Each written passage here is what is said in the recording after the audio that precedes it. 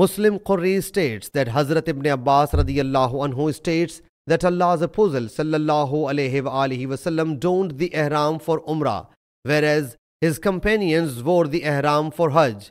Then neither he sallallahu alayhi wa wasallam nor those of the companions exited ihram after performing Umrah, who had brought the sacrificial animals and all other companions radiallahu anhum took off the ihram.